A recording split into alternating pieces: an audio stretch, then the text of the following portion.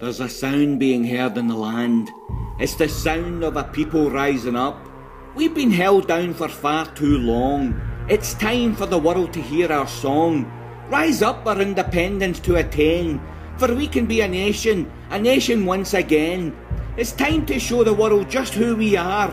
Not just any nation, but a rising star.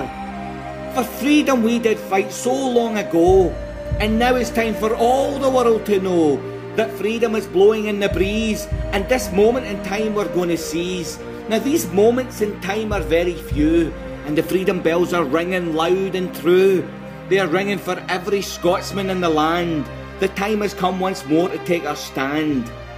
Take a look down through the corridors of time. Listen closely for the clock of history's chime. It's chiming now for you and for me. It's chiming for a people longing to be free. Freedom rings in every corner of the land. Will you rise up once more and take a stand? Stand now with William Wallace and the Bruce. Our chains can be broken and our fetters can be loosed.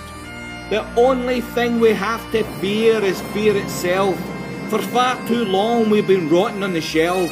Rise up, my fellow Scotsmen, all throughout the land. Shake off your chains and fetters. It's time to make a stand. It's better to have loved than to have lost than to have never loved and then to count the cost. When you're old and you're dying in your bed, will the bells of freedom be ringing in your head? As David ran to Goliath, run now into the fight. Let us look into the future and see our futures bright. Do not listen to the voices that are so full of fear, but listen to the voices that are ringing in your ear. And the voices cry, Rise up and fight through blood and pain. For we can be a nation still, a nation once again, a nation that is proud to stand, to stand upon its feet, a nation that snatches victory from the jaws of near defeat.